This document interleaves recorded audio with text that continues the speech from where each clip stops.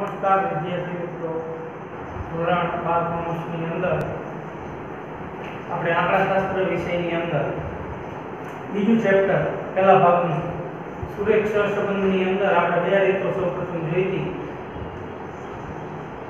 આપત્તિની રીત અને કાલ્ક્યુલેશનના ગુણ પ્રકારની રીત. અને ત્રીજી રીતનો આપણે અભ્યાસ સ્પિયરમેનના એટલે કે ચાર સ્પિયરમેનના તમામ સંબંધની રીતની અંદર આપણે એમાં સિમ્પલ જે સૂત્ર, બે સૂત્ર છે. કે r બરાબર 1 minus 6 sigma d square upon n cos minus square minus 1 એટલે આ સાદું સૂત્ર હતું કે જેમાં ક્રમ આપેલા હોય તો ઘાત કે કાંઈ પડતી ન અને આપણે હવે નવો પોઈન્ટ ચાલુ કર્યો તો જે એનો એક પણ દાખલો એક્ઝામ્પલ જોયો હતો કે અવલોકનમાં ઘાત જ્યારે અવલોકન સમાન હોય ત્યારે શું કરવાનું? તો એ અંગે ખાલી આપણે સૂત્ર અને આપણે હતું. બાકી બીજું હવે ઉદાહરણ નંબર એકવીસ. તો કે ઉદાહરણ પાંચમાં આપેલી વિગત પરથી ક્રમાંક સહસંબંધ આપવાનો કેટલામાં પણ? કે ઉદાહરણ નંબર 5 ની અંદર. તો આપણે ઉદાહરણ નંબર 5 પાછા પેજ નંબર.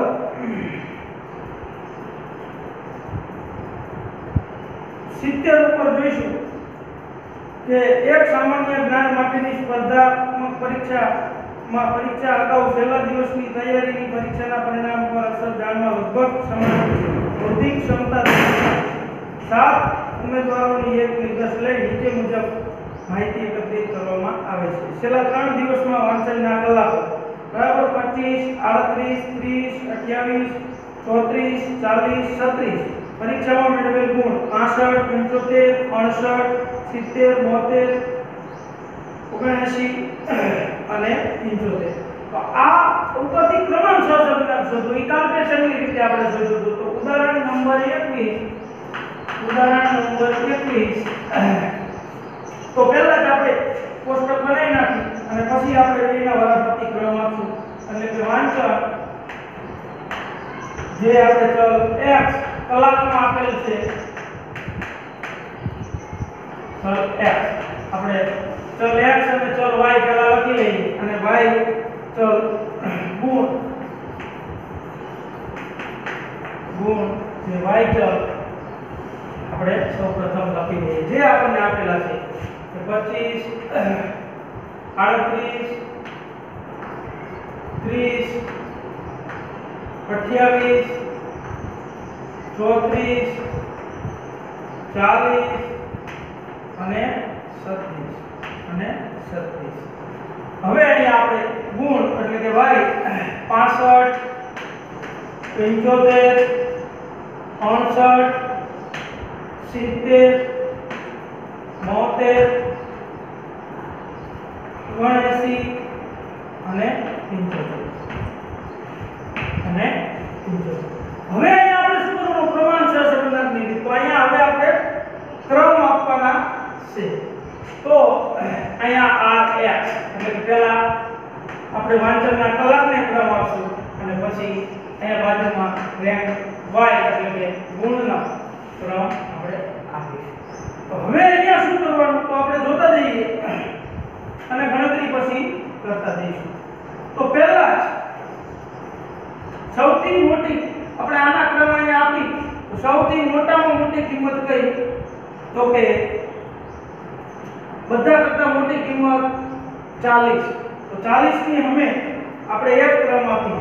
કેટલો આપશું? ક્રમ 1 પછી જોઈએ તો 38 એની સામે બે ક્રમ આપીએ. પછી તો કે 36 એની સામે 3 પછી 36 પછી 34 એને ચાર ક્રમ આપીએ. પછી 30 એને પાંચ ક્રમ આપીએ.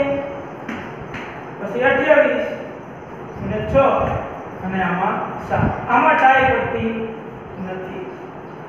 હવે અહીંયા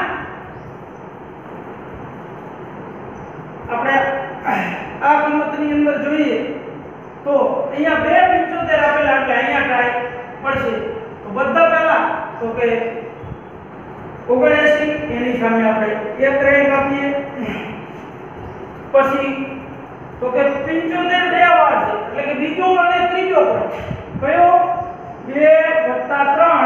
ક્રમ અને ભાગ્યા બે જો પણ છે ને રિપીટ થાય. તો કે 5 ભાગ્યા 2 બરાબર 2.5 તો આપણે બે જગ્યાએ 2.5 આપવાનું. આ 75 માં પણ 2.5 અને અહીંયા પણ 2.5 હવે આપણે ક્રમ કેટલા દેવી ગયા? તો કે 1 2 અને 3 હવે ચોથો ક્રમ આપણે દેવાનો.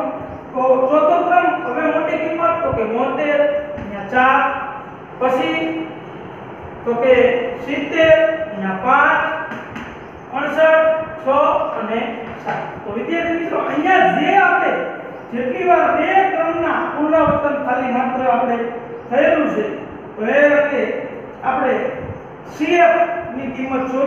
પણ પછી કોષ્ટક નીચે જ બનાવશું અહીંયા.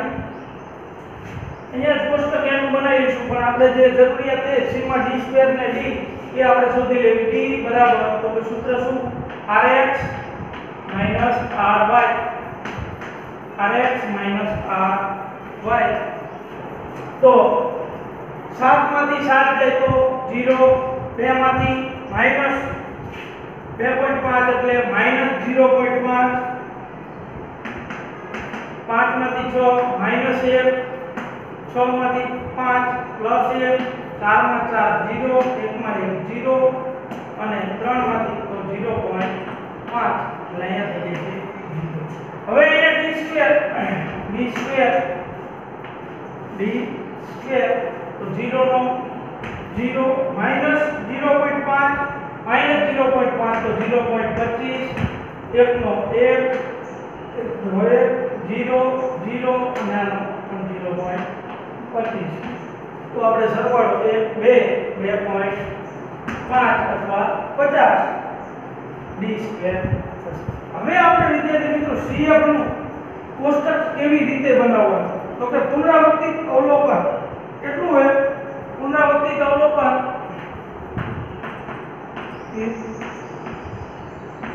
અવલોકન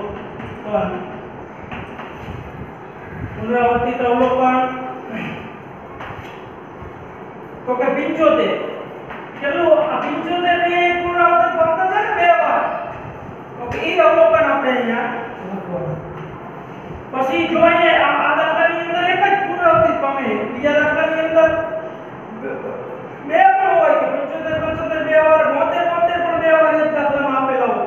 તો અહીંયા આપણે ઈ અને પછી બીજું પાછું અહીંયા એ 72 વર્ષના પણ લખવું પડે. હવે અહીંયા અવલોકન જેટલી વખત પુનરાવર્તન પામે છે એ સંખ્યા, એટલે સંખ્યા એટલે કે એમ.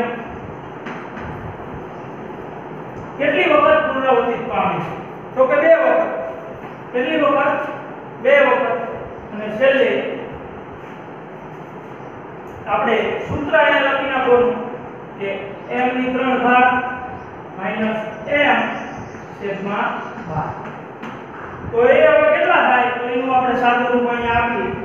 તો કૌંસમાં m કેટલો? અને સંખ્યા તો કે 2 એની 3 ઘાત માઇનસ 2 અને છેદમાં 12 છેદમાં 12 આનું સાદું રૂપ આપણે આપીએ. એટલે આપણને એની જ કિંમત.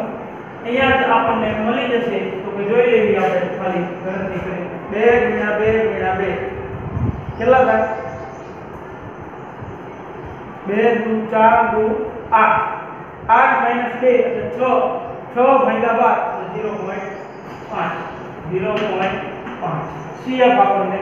આનો ટોટલ આપણે જે લખશું એક સીએફ કેવો? એ બે અવલોકનો હોત આ એક અવલોકન નથી બીજું અવલોકન પણ અહીંયા હોત તો એ પછી અહીંયા નીચે ટોટલ થાય પણ અહીંયા તો એક જ અવલોકન છે એટલે સીએફ બરાબર ઝીરો પોઈન્ટ પાંચ એક જ હવે આપણે R બરાબર વન માઇનસ સિક્સ કૌંસમાં sigma D square plus CF CF છેદમાં એન સ્ક્વેર એન કૌંસમાં એન સ્ક્વેર માઇનસ એક માઇનસ છ ના છ.